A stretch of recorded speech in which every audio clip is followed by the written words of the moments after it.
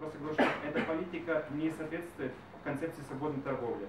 Нельзя делать импортозамещение, и это, с одной стороны, говорит о, о зоне свободной торговли там, с Европейским Союзом.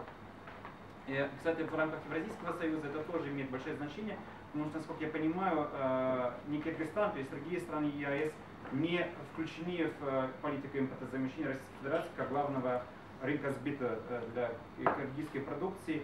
И я считаю, что это один из наиболее важных проблем внутри Евразийского союза, которые надо решать, чтобы продвигать эффективную экономику, интеграцию нашу дальше. Потому что у нас госсектор и, и госзакупки, то есть интеграция в рамках госзакупок, это такой фактор для, именно для нашей экономики, потому что госсектор составляет от 60 до 80 процентов экономики, и именно интеграция этой сферы является определяющим.